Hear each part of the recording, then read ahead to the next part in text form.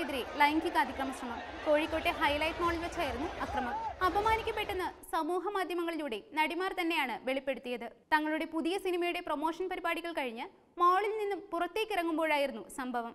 സംഭവത്തിന്റെ ദൃശ്യങ്ങൾ സമൂഹ മാധ്യമങ്ങളിൽ വ്യാപകമായി പ്രചരിക്കുകയും ചെയ്തിരുന്നു. ആൾക്കൂട്ടത്തിനിടയിൽ നിന്നും കയറി പിടിക്കാൻ ശ്രമിച്ചയാളെ നടിമാരിൽ ഒരാൾ അപ്പോൾ തന്നെ അടിക്കുകയും ചെയ്തു.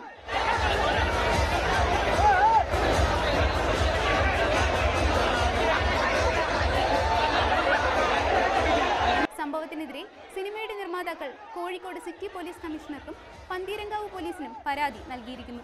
യുവനടിമാരിൽ ഒരാൾ സംഭവത്തിന്റെ തീവ്രത വ്യക്തമാക്കി സമൂഹ മാധ്യമങ്ങളിലിട്ട പോസ്റ്റ് വൈറലായിരുന്നു. സംഭവത്തിനെതിരെ വ്യാപക പ്രതിഷേധമാണ് ഉയരുന്നത്.